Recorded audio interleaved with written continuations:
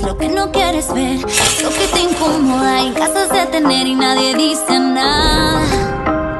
Aquí no pasa nada. La hija que no tocas, la madre que violentas, las cosas que no cuentas, que crees que son secretas, pues nadie dice nada. Aquí nunca pasa nada. Y te lo voy